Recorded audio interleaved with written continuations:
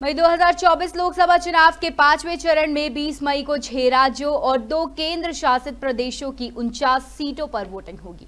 बता दें 2019 में इन सीटों पर सबसे ज़्यादा भाजपा ने 32, शिवसेना ने सात और टीएमसी ने चार सीटें जीती थी। कांग्रेस केवल उत्तर प्रदेश की रायबरेली सीट ही जीत पाई थी। अन्य को पाँच सीटें मिली थी। इस फ़ेज़ में राजनाथ सिंह स्मृति ईरानी और पीयूष गोयल समेत नौ केंद्रीय मंत्री मैदान में उतरे हैं। हम आपको बता दें रायबरेली से वायनाड सांसद राहुल गांधी भी चुनाव लड़ रहे हैं।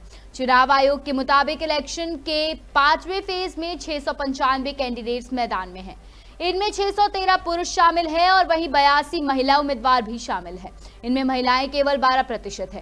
हम आपको बता दें, पाँच लोकसभा सीटों में चौथे फ़ेज़ तक 380 सीटों पर मतदान हो चुका है। वही 20 मई तक कुल चार सौ उनतीस सीटों पर मतदान पूरा हो जाएगा।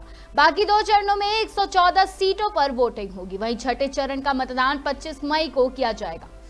इस दिन सात राज्यों की सत्तावन सीटों के लिए वोटिंग की जाएगी।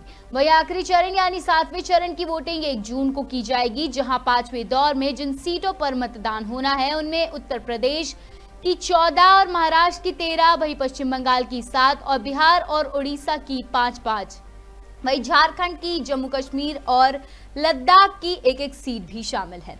बता दें कि चुनाव के परिणाम चार जून को घोषित किए जाएँगे।